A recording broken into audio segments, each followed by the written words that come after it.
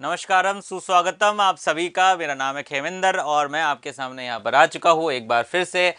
क्या करने के लिए भैया? P G C L twenty twenty three के लिए डिप्लोमा ट्रेनिंग का आपका एग्जामिनेशन आपका होने वाला है पाँच तारीख को। उसके लिए most important M C Q practice sessions आप लोगों के लिए मैं यहाँ पर करवा रहा हूँ। ठीक है बेटा?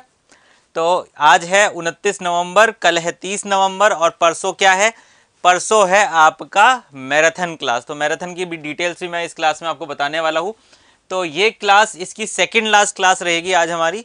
कल लास्ट क्लास रहेगी क्योंकि तीस तारीख है और परसों हम लोग मैराथन के साथ आप लोगों के साथ जुड़ेंगे इस पीजीसीएल के एग्जामिनेशन के लिए, ठीक है बेटा? तो सभी लोग एक बार जल्दी जल्दी सी इस सेशन के लिंक को शेयर कर दो। अपने दोस्तों में ज़्यादा से ज़्यादा मैराथन की टाइमिंग और क्या क्या चीज़ें आपकी होने वाली है, वो सभी चीज़ें मैं बताऊँगा इसी सेशन के अंतर्गत, ठीक है बेटा? Good evening Sonal good evening Ram Kishore ji सभी लोग आ जाइए जल्दी जल्दी सी। इस सेशन को स्टार्ट कर रहे हैं। हम लोग यहाँ पर और बेहतर से बेहतर तरीके से सारी चीज़ें आप लोगों के लिए यहाँ प्रोवाइड करवा रहे हैं। तो जैसा कि मैं देख पा रहा हूँ, थोड़े बहुत बच्चे हमारे साथ जुड़ रहे हैं। सभी लोग धीरे धीरे करके आते रहेंगे। तो कुछ बच्चे और आ जाएँगे। फिर उसके बाद मैं मैराथन की डिटेल्स आपके साथ शेयर करता हूँ, जो हमारी होने वाली है एक तारीख को। ठीक है बेटा?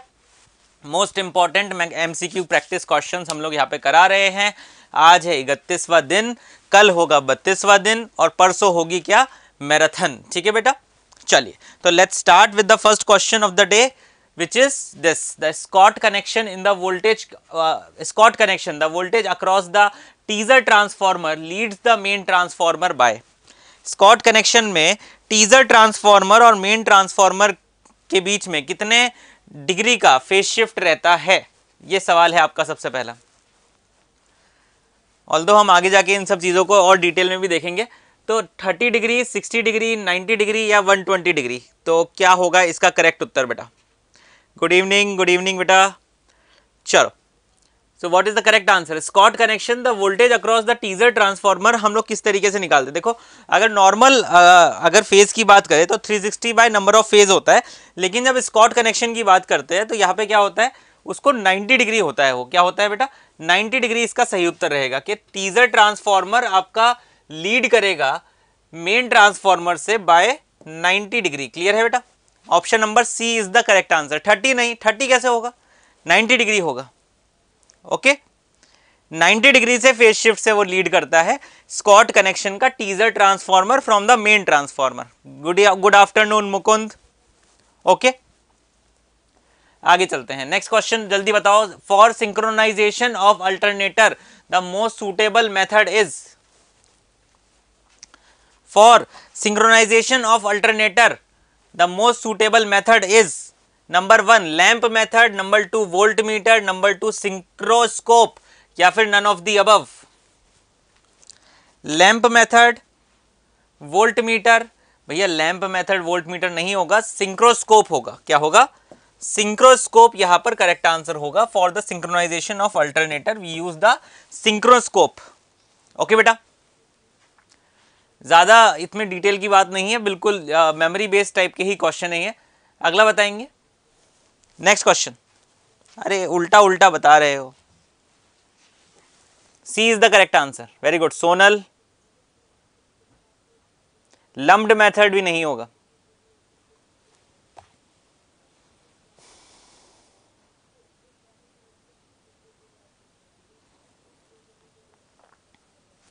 To minimize the harmonics, to minimize the harmonics.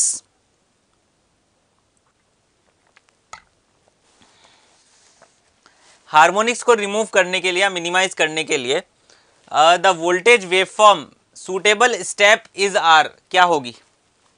तो देखो using distributed type of winding instead of concentric winding अगर हम डिस्ट्रीब्यूटेड वाइंडिंग का यूज़ करें कॉन्सेंट्रिक वाइंडिंग की जगह तो फिर हार्मोनिक्स मेरे मिनिमाइज होंगे। बिल्कुल सही बात है। अगला बोल रहा है यूजिंग फ्रैक्शनल स्लॉट वाइंडिंग ये बिल्कुल सही बात है फ्रैक्शनल स्लॉट वाइंडिंग से हार्मोनिक्स आपके कम होते हैं। नेक्स्ट बोल रहा है स्क्यूइंग द पोल फेस ये भी बिल्कुल सही है। तो करेक्ट आंसर क्या है यहाँ पर आपका? ऑल ऑफ़ दी अब इज़ द करेक्ट आंसर अच्छा मैं एक जनरल सवाल पूछ रहा हूँ। कई कई लोग बता भी पाएँगे। देखो देखो, कई बार एक बार इंटरव्यू में क्वेश्चन पूछ लिया था कि what is harmonics what is harmonics तो क्या उत्तर हो सकता है इसका? बताओ जरा। वॉट इज़ हार्मोनिक्स के हार्मोनिक्स क्या होते हैं? सिंपल सी डेफिनेशन बताइए एक बार हार्मोनिक्स की। तो देखो, मेरे पास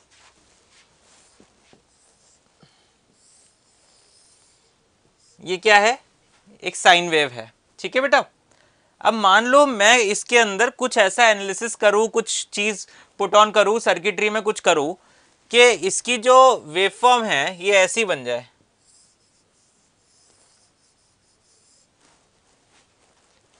ये क्या है? साइनोसोडियल ठीक है ना? ये क्या है? साइनोसोडियल ये क्या है? बेसिकली नॉन साइनोसोडियल क्या कह सकते हैं? नॉन साइनोसोडियल ठीक बात है? या फिर ये कह सकते हैं, सर हाँ अल्टरनेटिंग तो है परंतु एग्जैक्ट साइनोसोडियल नहीं है। परंतु एग्जैक्ट साइनोसोडियल नहीं है, ये वाला, ठीक है ना? तो इसके अंदर हार्मोनिक्स होंगे। इसके अंदर क्या होंगे बेटा? हार्मोनिक्स होंगे। क्लियर बात है? ओके तो इसके अंदर क्या होता है? हार्मोनिक्स है। किसी ना किसी प्रकार के डिस्टॉर्शन का आ जाना किसमें एसी के अंदर। एसी के अंदर किसी ना किसी प्रकार के डिस्टॉर्शन का आ जाना क्या कहलाता है? हार्मोनिक्स आना कहलाता है। क्लियर बात है?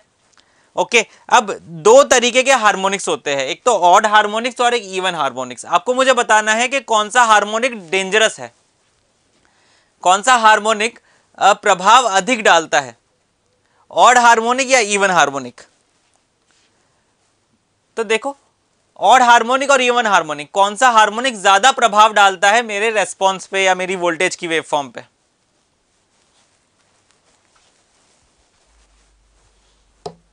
बोलो जरा।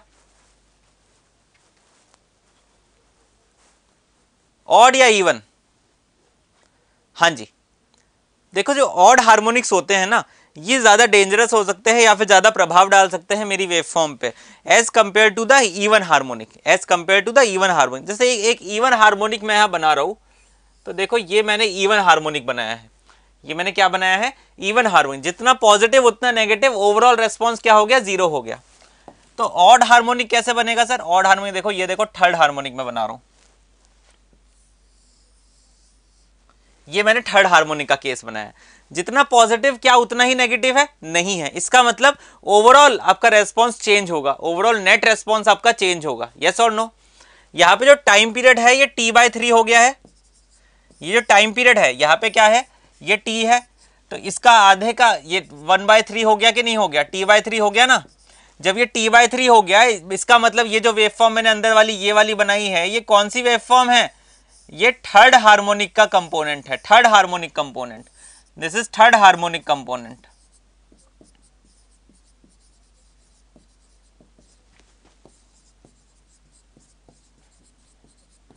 this is third harmonic component बेटा. क्लियर है all of you here in the chat section yes बेटा. Good तो एक और चीज़ मैं आपको बता दूँ अबाउट द मैराथन है ना? तो मैराथन क्लास आप लोगों की कब है बेटा? आप लोगों की मैराथन है एक दिसंबर को 2023 फ़र्स्ट दिसंबर को। 2023 की आपकी मैराथन होने वाली है। महा मैराथन पीजीसीआईएल डिप्लोमा ट्रेनिंग के लिए और ये अंतिम प्रहार उत्कर्ष के साथ हम लेकर आए हैं आप लोगों के लिए। जो कि दो बजे से शुरू होगी। जी हाँ दोस्तों, दो बजे से आपकी मैराथन शुरू होने वाली है। कौन कौन उस मैराथन में होंगे? अरे रे रे रे हिमांशु सर भी होंगे। हिमांशु सर होंगे भैया इसका मतलब मैथ और रीजनिंग के जो पोर्शन होंगे, वो हिमांशु सर देखेंगे। बाकी हम केशव सर रहेंगे, कुणाल सर रहेंगे और मैं रहूँगा। मेरे को तो आप जानते ही हो, ठीक है ना? चल। तो हम लोग रहेंगे, यहाँ पर मैराथन क्लास रहेगी आई थिंक पूरे छः घंटे का प्लान रहेगा छः घंटे की क्लास रहेगी। स्टार्टिंग टाइम रहेगा करीब करीब दो बजे क्लास स्टार्ट हो जाएगी एग्जैक्ट और करीब करीब छः घंटे की क्लास ये रहने वाली है।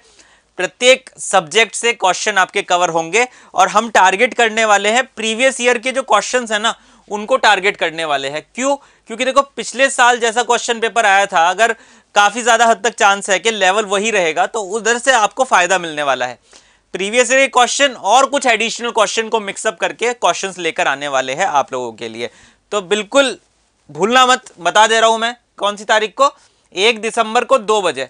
ये थंबनेल है, यहाँ पर ये सारी चीज़ें हैं और ये आपको मिलने वाला है एक तारीख को। अच्छा दो तारीख को भी सेम टाइमिंग रहेगा, तीन तारीख को भी सेम टाइमिंग रहेगा। और ये सभी टीचर्स आपको क्लासेस कराएँगे उस उस दौरान। ठीक है बेटा? चलो। नेक्स्ट क्वेश्चन चले। अरे ठीक है कि नहीं ठीक है? अरे बताओ जरा, ठीक है कि नहीं ठीक है? ठीक है ना? मिलोगे ना? चलो, बहुत अच्छी बात। नेक्स्ट क्वेश्चन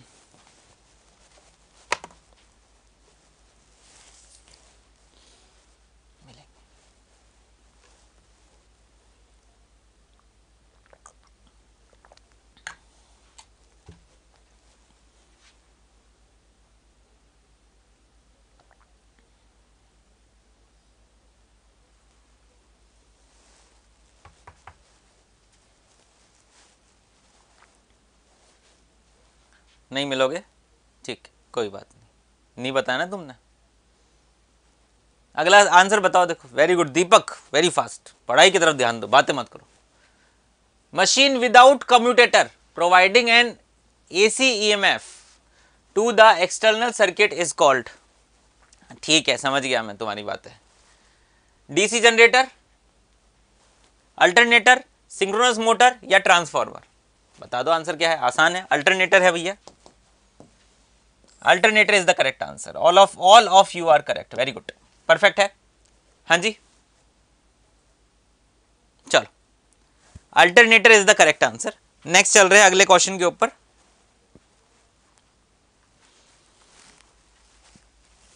अगला सवाल बताओ।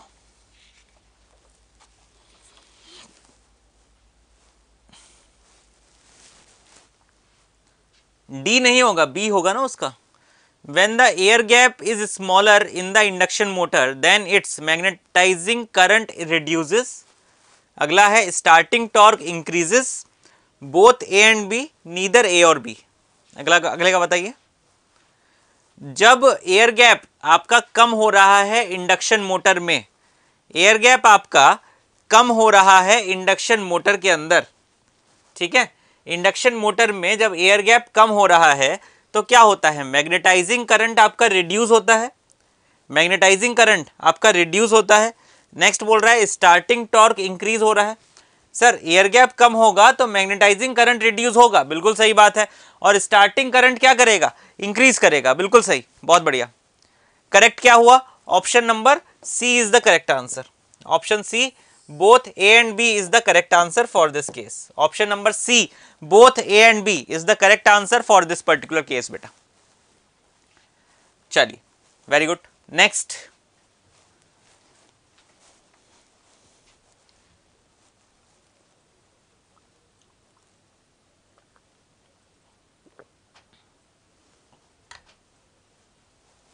बिल्कुल Deepak air gap reduces then power factor increases and magnetising current decreases बिल्कुल perfect and torque increases air gap reduce करेंगे तो पावर फैक्टर इंक्रीज करेगा और मैग्नेटाइजिंग करंट डिक्रीज करेगा और टॉर्क इंक्रीज करेगा। बिल्कुल सही बात है? अगला बताइए।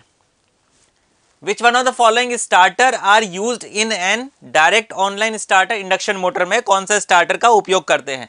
Option A direct online starter star delta starter या auto transformer starter DOL starter DOL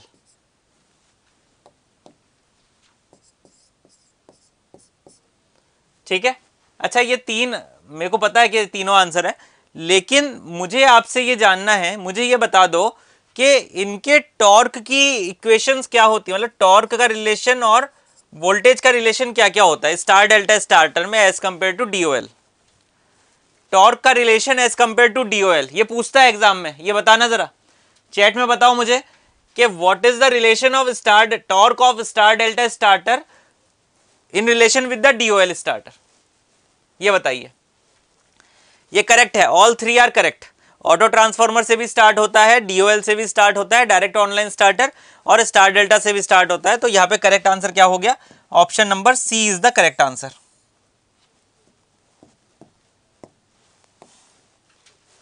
clear है? वेरी गुड स्टार में वन बाय थ्री स्टार में one by three of the total one by three of the DOL clear है?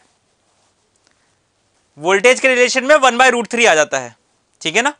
Torque में क्या होता है? One by three torque में क्या होता है बेटा? वन बाय थ्री और वोल्टेज जब करते हैं तो वन बाय रूट थ्री होता है. है ना? क्लियर है ना? यस बेटा। Torque is directly proportional to voltage square इसी तरीके से देखते हैं हम लोग। ऑटो ट्रांसफॉर्मर में एन वहाँ पे इंपॉर्टेंट हो जाता है कि रेशियो कितना है, ठीक है? चलो वेरी गुड तो यहाँ पे करेक्ट आंसर क्या है? Option number C is the correct answer यहाँ पर। Next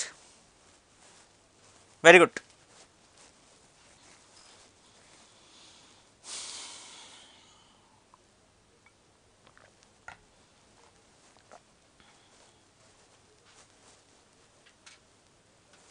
very good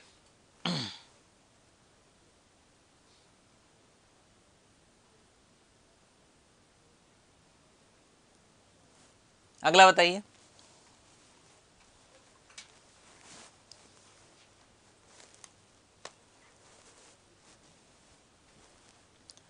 JK studio ninja, Sonal, Ajay, Hemraj, Vipin, Abhishek, अरे वेरी गुड सभी लोग बहुत ही बढ़िया।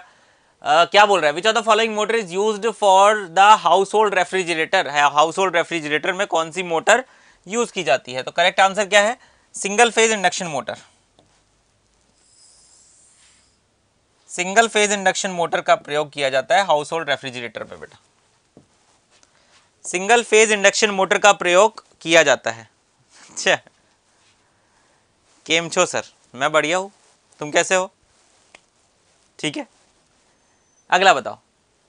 अच्छा इसमें बहुत सारी ऐसी अलग अलग मोटर्स दे रखी है, एक मैं बताया हूँ ये जो डीसी शंट मोटर है, इसका प्रयोग कहाँ पे किया जाता है? कांस्टेंट स्पीड की ड्राइव्स में। Constant speed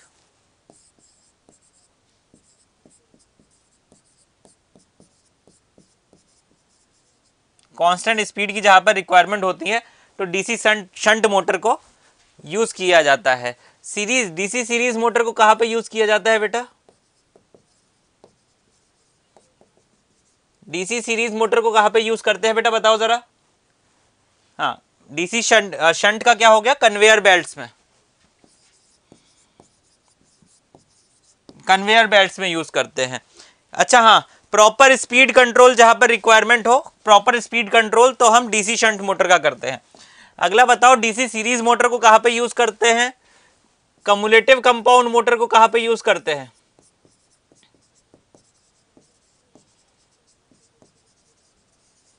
cumulative compound motor को कहाँ पर यूज़ करते हैं? नेक्स्ट। हाँ ये आ गया ट्रैक्शन में। ट्रैक्शन में यूज़ करते हैं किसको? यहाँ पर यूज़ करते हैं। या अच्छा यहाँ पर ना क्या होता है? ट्रैक्शन में जब कर, यूज़ कर रहे हैं तो ये हाई स्टार्टिंग टॉर्क हमको प्रोवाइड करवाता है।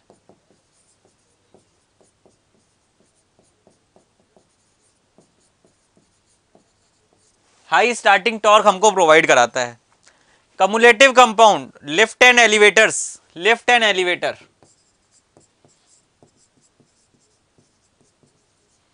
lift और एलिवेटर्स में हम लोग यूज़ करते हैं। ठीक है ना? क्लियर ठीक है, पता है ना ये चीज़? क्रेन्स यही आ गया क्रेन क्रेन हॉइस्ट क्या यूज़ करते हैं? डीसी सीरीज़ यूज़ करते हैं। यूनिवर्सल मोटर को कहाँ पे यूज़ करते हैं?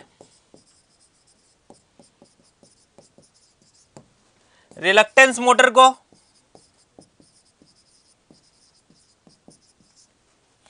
यूनिवर्सल मोटर रिलक्टेंस मोटर और कौन सी रह गई? Shaded pole motor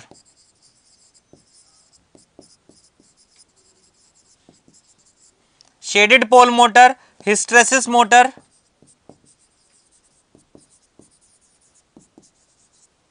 hysteresis motor इनको कहा कहा यूज़ करते ये बताओ? हाँ very good Mukund universal use कर रहे हैं बेटा मिक्सर में मिक्सर ग्राइंडर यूनिवर्सल यूज़ कर रहे हैं मिक्सर में। रिलक्टेंस यूज़ करते हैं सिग्नलिंग और टाइमिंग डिवाइसेस में।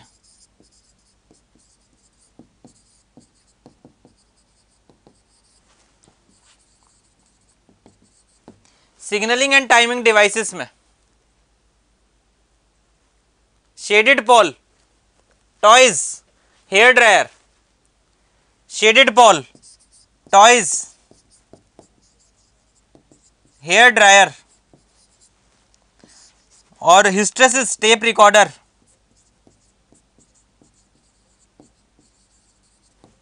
Hysteresis tape recorder. अच्छा ऐसी कौन सी मोटर है जिसकी डायरेक्शन ऑफ़ रोटेशन को हम अपोजिट नहीं कर सकते? क्या ऐसी कोई मोटर है जिसकी डायरेक्शन ऑफ़ रोटेशन को हम उल्टा नहीं कर सकते? बताओ। जी हाँ शेडेड पोल एक ऐसी मोटर दिखती है जिसकी डायरेक्शन और रोटेशन को हम उल्टा नहीं कर सकते बेटा। क्लियर है? शेडेड पोल को डायरेक्शन और रोटेशन को नहीं कर सकते। हाँ एक और आ गई। देखो, ये बहुत अच्छा बताया। दीपक बहुत बढ़िया। रिपल्शन रिपल्शन कहाँ पे यूज़ करते हैं? ट्रेन में ही यूज़ करते हैं। ट्रेन में यूज़ करता है क्योंकि हाई स्टार्टिंग टॉर्क रिपल्शन भी प्रोवाइड कराता है। ठीक है बेटा? ओके तो आई थिंक ये काफ़ी अच्छी सी हमने यहाँ पे एनालिसिस किया है, बहुत इंपॉर्टेंट है। मेरे हिसाब से इनमें से क्वेश्चन बनना चाहिए ओके क्योंकि ये चीज़ें पूछता है वो। ओके बेटा? चलिए नेक्स्ट क्वेश्चन अगला बताइए।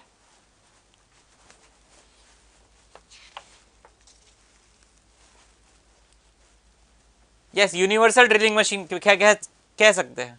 पर यूनिवर्सल का बेहतर एग्ज़ाम्पल आपका क्या है? आपका ये है मिक्सर ही है। अच्छा एक और बताऊँ क्या? एक और इसमें एक और याद आ गया मेरे को। अच्छा फ़ैन में कौन सा यूज़ करते हैं? आपके सर के ऊपर जो फ़ैन है, देखो घूम रहा कहाँ गया। फ़ैन है ना? उसमें कौन सा यूज़ करते हैं? फ़ैन। फ़ैन में कौन सा यूज़ करते हैं? सिंपल है। फ़ैन में। ये बताओ फ़ैन और बताओ कि इलेक्ट्रिक व्हीकल।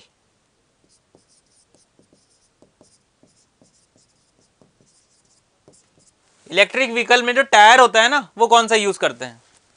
फ़ैन में आ गया परमानेंट कैपेसिटर।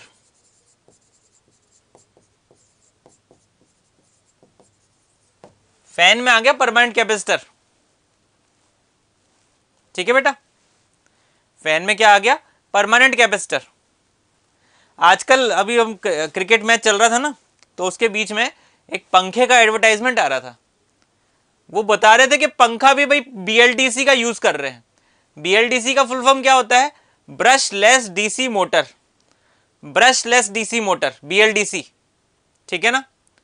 इलेक्ट्रिक व्हीकल में मोस्टली जो पहले यूज़ करते थे इलेक्ट्रिक व्हीकल में, वो यूज़ करते थे डीसी शंट, लेकिन अब यूज़ करते हैं बीएलडीसी तो अब यूज़ करते हैं बीएलडीसी ठीक है ना? पंखे में भी कई सारे ऐसी, आ गए हैं कि वो फ़ैन में, थोड़े महँगे फ़ैन है, वो बीएलडीसी मोटर वाले यूज़ करते हैं। पंखे में भी आ चुके हैं। ठीक है ना? नॉइज़ नहीं होती उस पंखे में। ठीक है बेटा? एक डिफरेंशियल कंपाउंड बोल रहे थे, बिल्कुल सही है वेल्डिंग के लिए यूज़ करते हैं। वेल्डिंग पर्पज के लिए, ठीक डिफरेंशियल कंपाउंड वहाँ पे यूज़ होगा। ओके ऐसी कौन सी मोटर है जिसमें रोटर नहीं है? जिसमें रोटर तीथ नहीं है। रोटर नहीं रोटर तो है ही। रोटर तीथ नहीं होते। ऐसी कौन सी मोटर है इनमें से जिसमें रोटर टीथ नहीं है? हिस्ट्रेसिस मोटर में। रोटर टीथ नहीं होते। है ना? अच्छा ऐसी कौन सी मोटर है जो एग्जैक्ट अच्छा नीचे नीचे में, ऐसी कौन सी मोटर है जो एग्जैक्ट सिमिलर है डीसी सीरीज़ मोटर से? यूनिवर्सल मोटर ऐसी कौन सी मोटर है जो एग्जैक्ट सिमिलर है डीसी सीरीज़ मोटर से?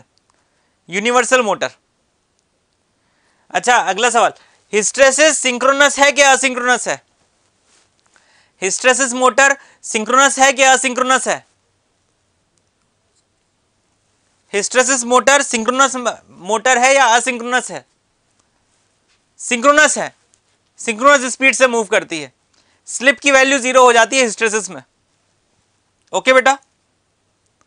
यस परफेक्ट है। कोई दिक्कत नहीं। चलें आगे। लेके प्रभु का नाम। चलते हैं आगे की तरफ़। चलो, बहुत बढ़िया।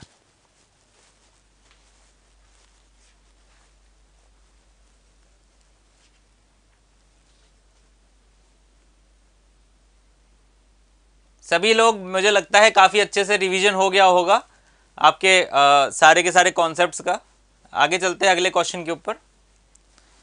मैं बता दूँ वापस से बता देता हूँ आप लोगों ने पहले तो ध्यान दिया नहीं मैराथन क्लास कब है?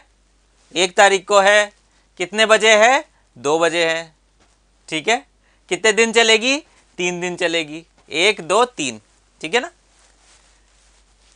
DC motor takes large value of current at a time of starting due to yes very easy absence of back EMF उस उस समय पे स्टार्टिंग के समय में बैक ईएमएफ नहीं होता है।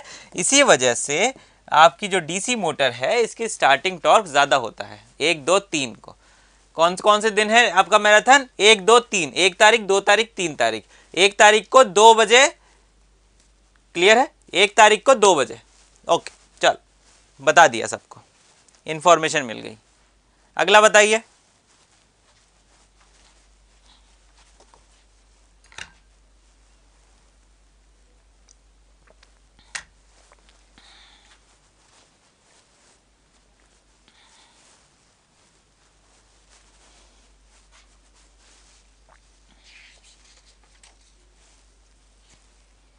नहीं, कल मेरा ही क्लास लगेगा। मैं ही हूँ। मुझे ही झेलना पड़ेगा तुमको। चंदन। क्या करूँ? आंसर बताओ देखो।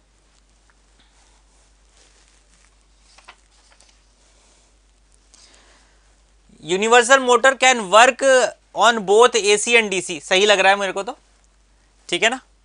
Next universal motor is used for the purpose where speed control and high value of speed are necessary बिल्कुल सही बात है। परफेक्ट तो what is the correct both are the correct statement बेटा। तो therefore B is the correct answer B is the correct answer कितनी speed होती है? बीस हज़ार आरपीएम बिल्कुल सही। ट्वेंटी थाउज़ेंड आरपीएम तक स्पीड पहुँच जाती है इसकी।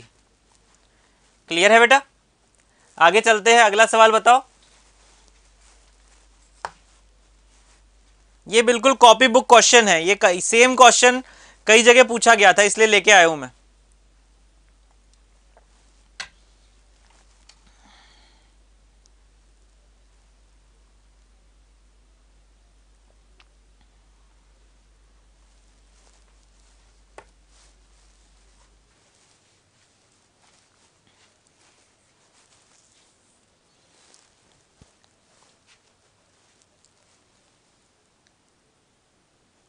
Very good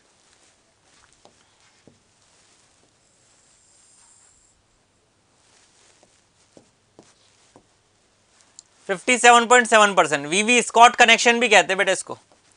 क्या कहते हैं? स्कॉट स्कॉट कनेक्शन की सहायता से थ्री फ़ेज़ से दो फ़ेज़ में हम चले जाते हैं। Three phase to two phase transfer हम लोग करते हैं। कितना बेटा? तीन फ़ेज़ से दो फ़ेज़ में हम लोग ट्रांसफ़र करते हैं। स्कॉट कनेक्शन ओके अच्छा ये तो मैं बता चुका हूँ। आप लोगों को पहले ही एक तारीख को दो बजे। चार लोग आएँगे। वो चार लोग थे। बिल्कुल, पूरा महामैराथन कराया उन्होंने। अंतिम प्रहार उत्कर्ष के साथ। अगला सवाल।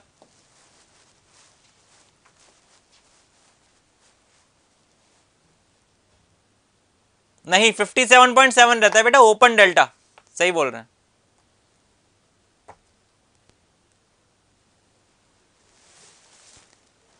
बिल्कुल, बहुत ही बढ़िया। Deepak load carried 57.7 percentage and if full load is maintained then overloaded by 73.3 percentage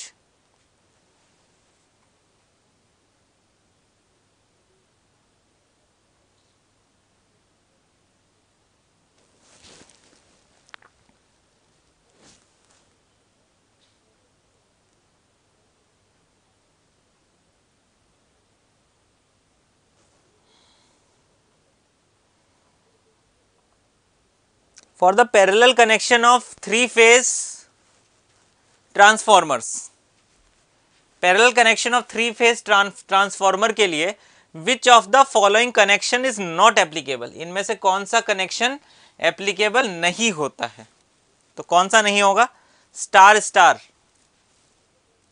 नहीं होगा ठीक है एंड उस टाइम यूटिलाइजेशन अच्छा वो दूसरी बात बोल रहे हो क्या? ठीक है star star is the correct answer यार star star is the correct answer बेटा यहाँ पे। Option C maximum student C बोल रहे सही भी है।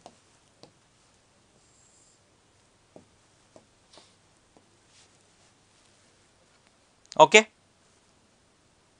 वेरी गुड अगला बताइए। ये तो आसान है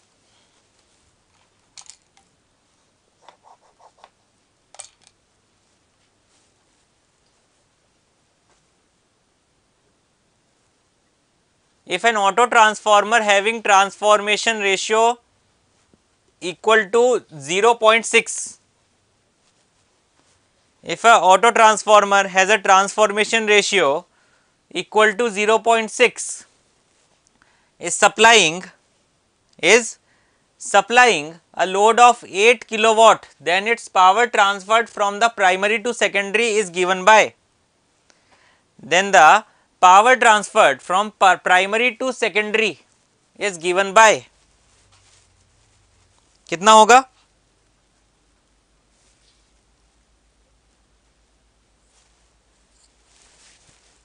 one minus point six multiplied by total load One minus point six multiplied by total load तो कितना हो गया? Eight kilowatt multiplied by point four, कितना रह गया बेटा? Three point two.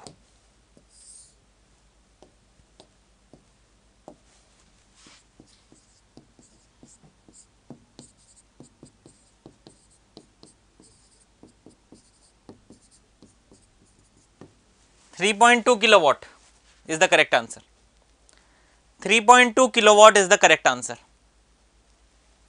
अच्छा मुझे एक बात बताओ सोच के। जब हम ऑटो ट्रांसफॉर्मर की बात करते हैं तो ऑटो ट्रांसफॉर्मर में दो तरीके से पावर ट्रांसफ़र की जाती है power transfer conductively and power transfer inductively okay बेटा?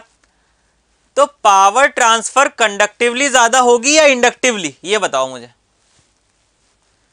पावर ट्रांसफ़र कंडक्टिवली ज़्यादा होगी या फिर पावर ट्रांसफ़र इंडक्टिवली बेटा कंडक्टिवली मतलब डायरेक्ट कनेक्शन है। तो इसका मतलब जो डायरेक्ट कनेक्शन है, उससे हम ज़्यादा पावर को ट्रांसफ़र कर सकते हैं। तो हमेशा जब हम ऑटो ट्रांसफार्मर देखते हैं तो पावर ट्रांसफ़र कंडक्टिवली अधिक होती है as compare to power transfer inductively okay बेटा?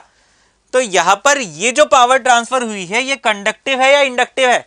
ये इंडक्टिव है। ये क्या है? Inductive power transfer.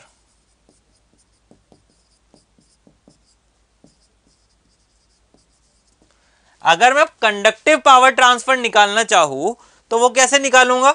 वो सिंपल हो गया 0.6 point six multiplied by eight. कितना हो गया? 4.8 point eight kilowatt yes बेटा? क्लियर अच्छा इसको ऐसे और समझो। इसको ऐसे और समझो कि अगर मैं ऑटो ट्रांस नॉर्मल ट्रांसफॉर्मर को ऑटो ट्रांसफॉर्मर में कन्वर्ट कर रहा हूँ तो केवीए रेटिंग इंक्रीज करेगी डिक्रीज करेगी? सिंपल सा क्वेश्चन है, बताओ जरा। हेलो यंग मैन ओहो हो। यंग लग रहा हूँ मैं? मुझे देख के मेरी उम्र का पता लगा रहा बहुत मुश्किल है। चलो आंसर दो। मज़ाक करते हैं बताओ, बच्चे। आंसर बताओ। क्वेश्चन क्या है? कि आपके सिस्टम में पावर ट्रांसफ़र हो रही है तो टोटल केवीए रेटिंग इंक्रीज करेगी कि डिक्रीज करेगी? सर केवीए रेटिंग इंक्रीज करेगी। क्यों? क्योंकि ओवरऑल पावर ट्रांसफ़र आपकी ज़्यादा हो चुकी है। क्योंकि ओवरऑल पावर ट्रांसफ़र आपकी बेटा क्या हो चुकी है? ज़्यादा हो चुकी है। क्लियर है कि नहीं? यस yes, बेटा। पक्की बात है। बहुत ही अच्छी बात। So this is the few points regarding the auto transformer आप लोगों को पता होना चाहिए। ठीक है ना? अच्छा इसमें एक और चीज़ थी। क्या बताएँ? चलो कोई नहीं, आगे देखेंगे। जो भी पॉइंट आएगा देखते रहेंगे। नेक्स्ट बताओ।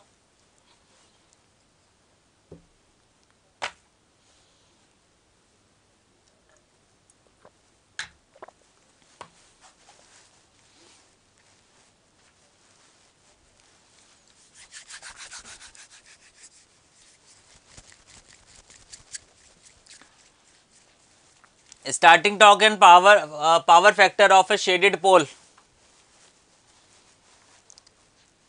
देखो शेडेड पोल ऐसी मोटर होती है कि स्टार्टिंग टॉर्क कम होता है लो स्टार्टिंग टॉर्क होता है एंड पावर फैक्टर भी कम होता है लो पावर फैक्टर के लिए। तो लो पावर फैक्टर और low starting torque both are lows okay low power factor and low starting torque ठीक है बेटा? क्लियर है? Shaded pole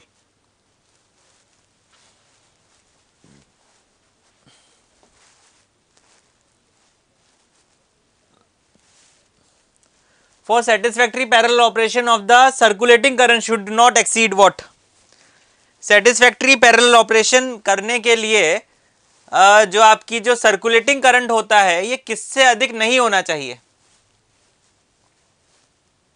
बहुत ही बढ़िया, दीपक, बहुत ही बढ़िया।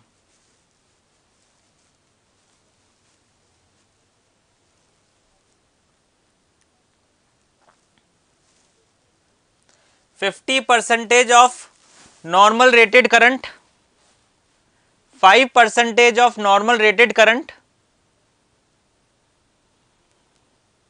ten percentage of normal rated current या पच्चीस percentage of normal rated current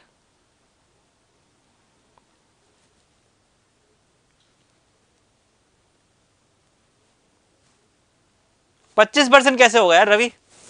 पच्चीस परसेंट बहुत ज़्यादा होता है, ठीक है ना? पाँच दस बोलते तो समझ में भी आता। सर्कुलेटिंग करंट नहीं होना चाहिए या फिर कम होना चाहिए। तो क्या होगा करेक्ट आंसर यहाँ पर? Five percentage of normal rated current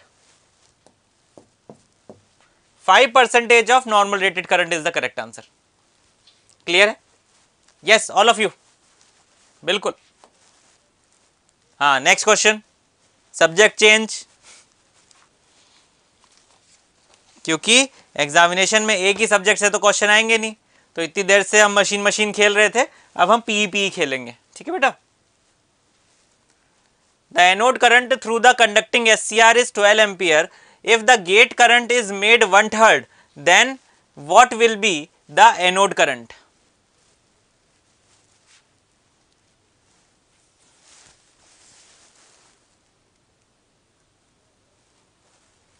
anode current through the conducting S C R is twelve ampere if the gate current is made one third अगर गेट करंट एक बटे तीन हो गया है तो फिर मेरा एनोड करंट कितना रहेगा? हाँ इतनी देर से सभी के सभी जोरदार, सही पे सही उत्तर लगाए जा रहे थे। अब देखो।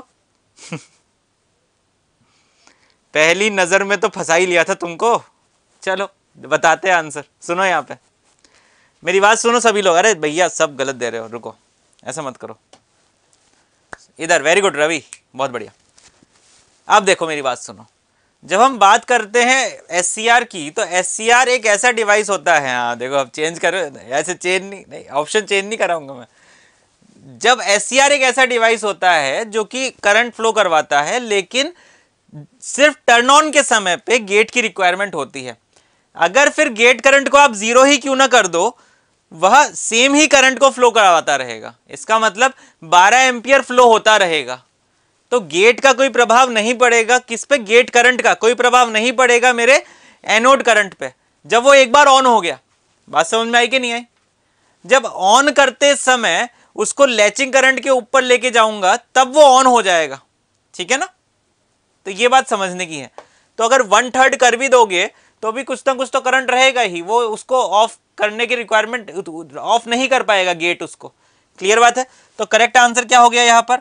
Option number D is the correct answer बेटा। Option number D is the correct answer बहुत ही बढ़िया। चलो, आगे चलो। नेक्स्ट क्वेश्चन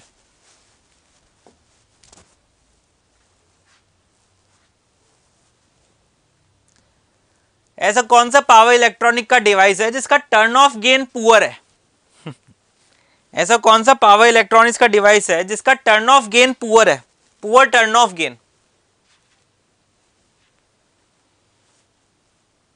बताओ।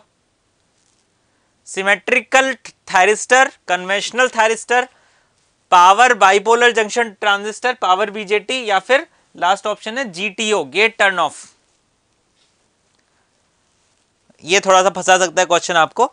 देखो टर्न ऑफ़ गेन पुअर मतलब कि जब हम उसको टर्न ऑफ़ कर रहे हैं तो हमको ज़्यादा एडिशनल क्या कह सकते हैं, हमको ज़्यादा कोशिश करनी पड़ रही है। या फिर हमने गेट के थ्रू ही ऐसा कुछ सिस्टम लगाया कि वो उधर टर्न ऑफ़ गेन खराब मिल रहा है मेरे को। वो होता है बेटा जीटीओ में। किसमें बेटा? जीटीओ गेट टर्न ऑफ़ में। ठीक है बेटा? Gate turn off is the correct answer यहाँ पे। ओके ऑप्शन नंबर डी बाकी लोग गलत दे रहे हो तो मुझे पता है। पावर बीजेटी का कैसे टर्न ऑफ़ गेन पुअर होगा? ऑन और ऑफ़ फुल्ली कंट्रोल्ड डिवाइस है। ऑन और ऑफ़ एक सिग्नल से हो जाएगा। यहाँ पर मैं जो सिग्नल लगा रहा हूँ, वहाँ पे मुझे हैवी करंट प्रोवाइड कराना पड़ेगा। हैवी नेगेटिव करंट इसलिए टर्न ऑफ़ गेन पुअर होता है। ओके बेटा? जीटीओ में। गेट टर्न ऑफ़ कहते हैं इसको। ठीक है? देखो जब थायरिस्टर बन गया था ना तो उसके बाद में बहुत समस्या आई हमको। क्यों? क्योंकि थायरिस्टर को तो बना लिया लेकिन जब मैं थायरिस्टर को डीसी इनपुट के लिए यूज़ करता हूँ ध्यान से सुनना। जब मैं थायरिस्टर को डीसी इनपुट्स के लिए यूज़ करता हूँ तो मुझे एक भारी भरकम भरकम कम्यूटेशन सर्किट लगाना पड़, पड़ता था। भारी भरकम कम्यूटेशन सर्किट से होता क्या था? मेरा जो पूरा का पूरा सिस्टम था वो बल्कि बन जाता था। बल्कि मतलब भारी भरकम, ठीक है ना? तो इसीलिए हमने बोला कि कोई ऐसा डिवाइस हो जो कि गेट सिग्नल से ही टर्न ऑफ़ भी हो जाए तो हमने बनाया ये G T O it is part of thyristor family it is part of thyristor family ये कर तो देता था टर्न ऑफ़ लेकिन इसका गेन पुअर था। इसका मतलब लॉसेस ज़्यादा थे। ठीक है बेटा? ओके अच्छा एक और ऐसा सवाल है एक नाम सुना होगा यूजेटी नाम सुना है? Uni junction transistor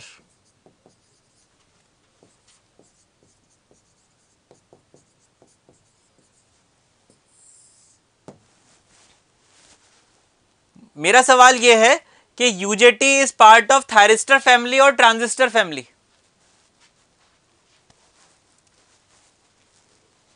UJT is part of thyristor family और transistor family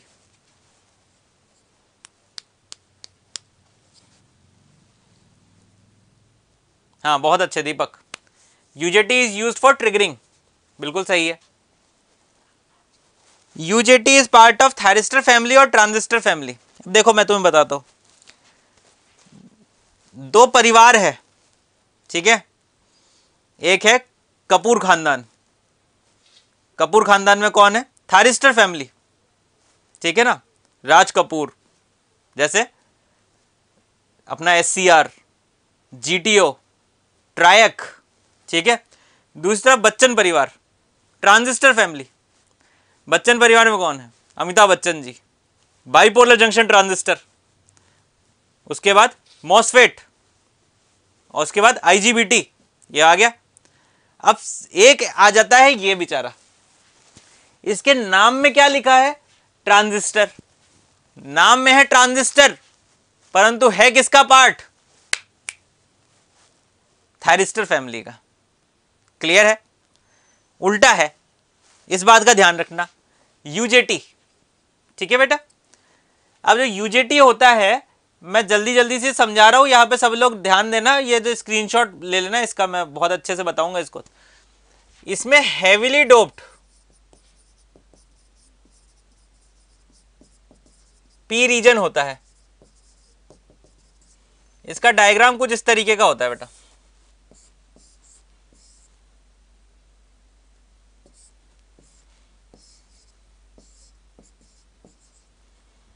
Emitter base one base two heavily doped P region होता है इसके अंदर। This is a question in the examination this is a question in the examination okay बेटा। Heavily doped P region this is a question in the examination okay next एक question पूछा गया कि इसमें एक रेस्पॉन्स होता है, जिसे कहते हैं negative resistance response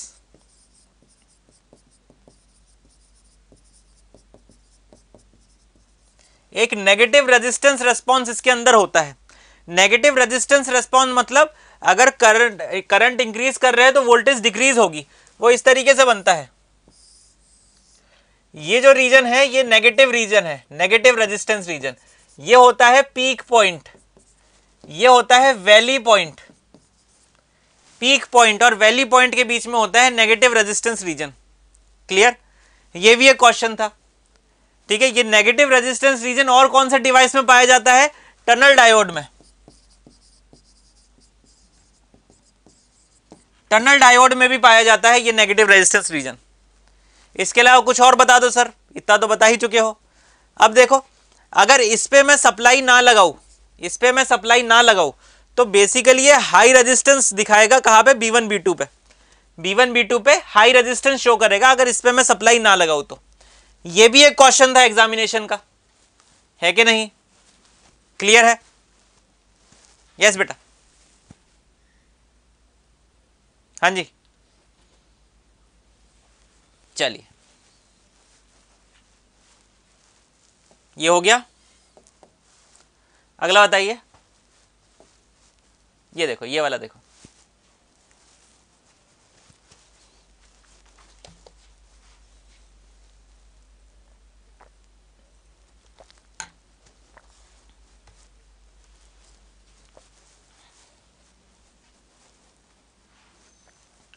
Circuit turn off time of SCR is defined as the time taken by the SCR to turn off. Time taken by the SCR to turn off. Time for which SCR is reverse biased by the commutation circuit. Time required by the SCR to become 0 for which the SCR is reversed biased to reduce the current below the holding current. तो यहाँ पे दो option है जो कि आपके answer हो सकते हैं जितना मुझे लगता है। परंतु उनमें से भी एक सही है। अरे नहीं। देखो। मान लो कि हमारे पास एक एससीआर में बहुत सारे एक्सेस चार्जेस हैं। बहुत सारे एक्सेस चार्जेस हैं। देखो इसको। मान लो ये एससीआर ऑन स्टेट में है। अब यहाँ पे मैंने उसको ऑफ़ कर दिया। तो ये इस तरीके से एक्सेस चार्जेस उसको नीचे की तरफ़ लेके जाएँगे। ठीक है ना? इस तरीके से एक्सेस चार्जेस उसको नीचे की तरफ़ लेके जाएँगे। अब ये क्या होता है? ये टाइम है। ये टाइम है। ठीक है ना? ये टाइम है टी क्यू टी क्यू होता है device turn off time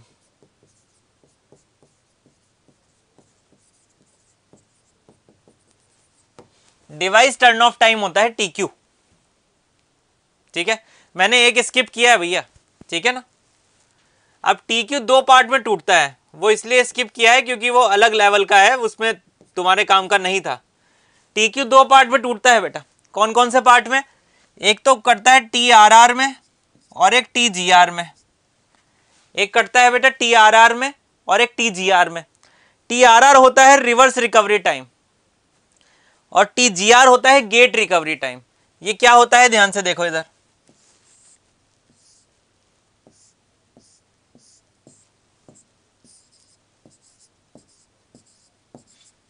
अब बेसिकली ये टी क्यू टाइम कौन सा है? जब सभी एक्सेस चार्ज कैरियर रिमूव हो। अब टी आर आर क्या होता है? वह टाइम जिसमें एक्सेस चार्ज कैरियर रिमूव हो आउटर रीजन से। मतलब ये और ये। आउटर रीजन से। अगर एक्सेस चार्ज कैरियर रिमूव हो, वो कौन सा होता है? टी आर आर होता है। और टी जी आर कौन सा होता है? जब एक्सेस चार्ज कैरियर रिमूव हो इनर रीजन से, ये इनर रीजन है। ये आउटर रीजन है। ये आउटर रीजन है। क्लियर बात है कि नहीं, ऑल ऑफ़ यू? यस। तो T R R T G R समझ में आया? टी क्यू समझ में आया कि सभी एक्सेस चार्ज कैरियर रिमूव हो। अच्छा इसके बाद अब यहाँ पे आ जाओ। इधर। सर्किट टर्न ऑफ़ टाइम क्या है? ये वो टाइम है जो किसी एडिशनल सर्किट के द्वारा लगाया गया है ताकि आपका जो करंट है सभी एक्सेस चार्ज के लिए रिमूव हो जाए। ओके अब यहाँ पर दो ऑप्शन ऐसे हैं जो बिल्कुल मेरे को सही लग रहे हैं। कौन कौन सा option number B for which the S is reverse biased by the commutation circuit बिल्कुल सही लग रहा है। अगला बोल रहा है for which the S is reverse bias to reduce its current below the holding current मतलब कहने का मतलब उसको बंद कराने के लिए। तो यहाँ पे बी और डी दोनों सही है। ज़्यादा अप्रोप्रिएट आंसर आप मेरे से पूछोगे तो मुझे लगता है बी ज़्यादा अप्रोप्रिएट है। क्योंकि यहाँ पे सर्किट टर्न ऑफ़ टाइम की बात हो रही है और यहाँ पे साफ़ तौर पे लिखा गया है कि कम्यूटेशन सर्किट द्वारा ये किया जाता है। वैसे तो इधर भी कर ही रहे किसी ना किसी तरीके से। लेकिन यहाँ पे स्पेसिफाई करा हुआ है तो बी ज़्यादा स्पेसिफिक आंसर है। बताओ क्लियर है तो? अरे बोलो तो कुछ तो बोलो। हाँ जी।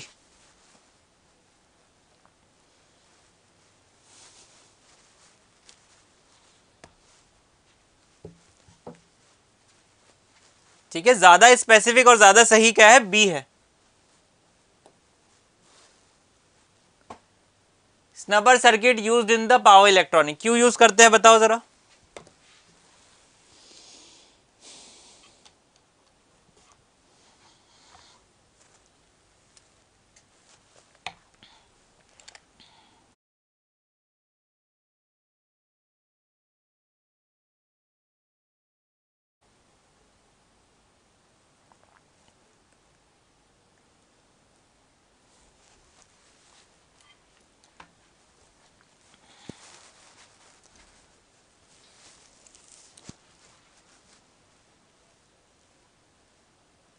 To reduce high DV by D T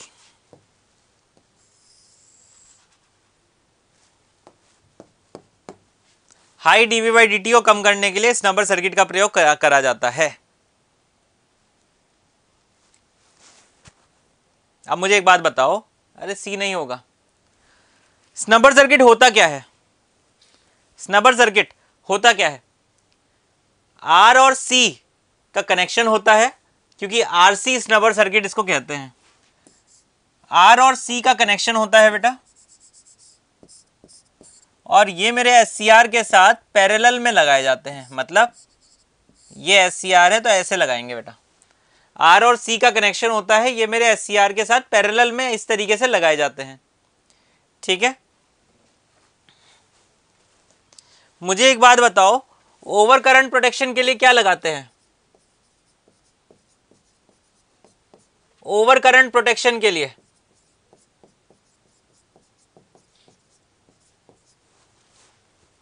over current protection में क्या लगाते हैं?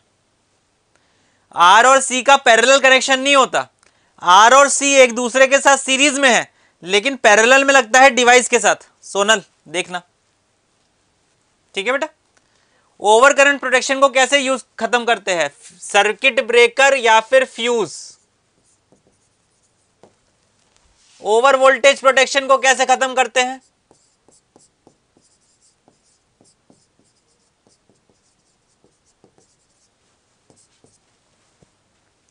ओवर वोल्टेज प्रोटेक्शन को कैसे खत्म करते हैं बेटा? वेरिएबल रजिस्टर लगाते हैं, जिसको बोलते हैं वेरिस्टर। वेरिएबल रजिस्टर, जिसे बोलते हैं varistor. DV by D T protection के लिए क्या करते हैं बेटा? आ गया है। RC snubber. Next D I by D T के लिए क्या लगता है? कर, करते हैं बेटा। D I by D T के लिए क्या करते हैं बेटा? कोई बात नहीं कोई बात नहीं ठीक है। D I by D T के लिए।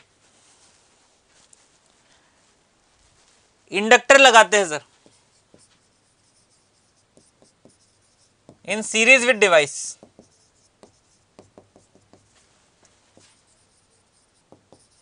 ये सर्किट ब्रेकर सीरीज़ में लगा है। ये वेरिस्टर पैरेलल में लगा है। सीरीज़ में लगा है, पैरेलल में लगा है। ओके बेटा? थर्मल प्रोटेक्शन के लिए क्या लगाते हैं बेटा?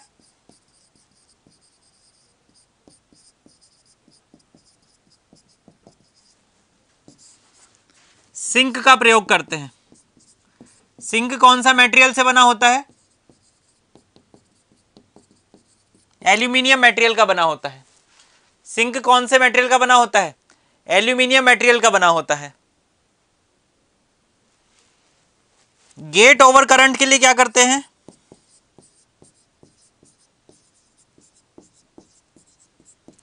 गेट ओवर करंट के लिए क्या करते हैं बेटा? Gate over current. Gate over current के लिए लिमिटिंग रेजिस्टर लगाते हैं।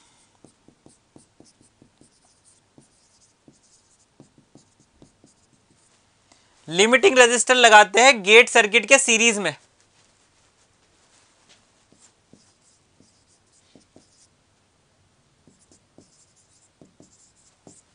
गेट सर्किट के सीरीज़ में। सर, इस सब्जेक्ट में मुझे बहुत कंफ्यूजन होता है। एक खेमेंद्र सर नाम से है, वो यही सब्जेक्ट पढ़ाते हैं, बड़ा अच्छा पढ़ाते हैं। अलग अलग जगह पढ़ाया है सर ने। तो उत्कर्ष की क्लास में, उनकी क्लास देख लेना, ये सब्जेक्ट क्लियर हो जाएगा। ठीक है? ज़्यादा तारीफ़ कर दी ना? चलो, कोई बात नहीं। सुन लो इधर। Gate over voltage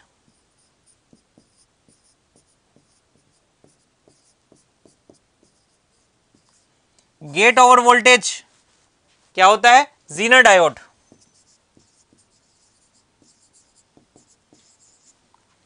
noise noise remove करने के लिए हम कैपेसिटर लगाते हैं। लेकिन कैपेसिटर की डिस्चार्जिंग कंप्लीट करने के लिए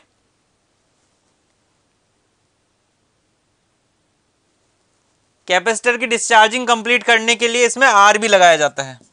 रेजिस्टेंस भी लगाया जाता है एक छोटा सा। ठीक है बेटा? So this is the entire protection of SCR आप लोगों के लिए। अच्छा अच्छा अच्छा। तुम हो क्या? मैं समझ गया कौन हो तुम। शिव कुमार। चलो। ठीक है बेटा? चलो। एंड कर दे इसको। तो आज की क्लास में इतना ही। कल भी क्लास होगी और परसों हम लोग मैराथन लेकर आएँगे। मैं बता दूँ आप लोगों को, थोड़ी सी और बातें कहाँ गई? अरे रुको। हाँ। अरे भैया, सुनो, इधर। अभी जाना मत रहे सुन जाओ। आप लोग क्या इसको स्कैन करके हमारे व्हाट्सएप उत्कर्ष के ऑफिशियल व्हाट्सएप चैनल के साथ जुड़ सकते हैं? तो भैया, बहुत अच्छी अच्छी चीज़ें आती है वहाँ पे, देख लेना, ठीक है ना? और भी एक और चीज़ थी कहाँ गई भाई। हाँ ये रहा। महा मैराथन करा रहे हैं हम लोग। कब करा रहे हैं? एक तारीख को, एक दिसंबर को, दो बजे क्लास होगी। ये सभी लोग महानुभाव हैं आपके सामने। ये आपकी क्लास करेंगे। ठीक है बेटा? और अंतिम प्रहार उत्कर्ष के साथ पीजीसीआईएल के डिप्लोमा ट्रेनिंग के एग्जामिनेशन के लिए महामैराथन आपकी हो रही है। इसको भी नोट कर लेना। एक तारीख को दो बजे आ जाना। नॉन टेक भी कराएँगे और टेक्निकल भी कराएँगे। ठीक है बेटा?